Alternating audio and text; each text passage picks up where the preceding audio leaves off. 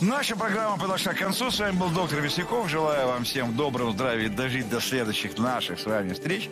Благо, они уже не за горами. До свидания.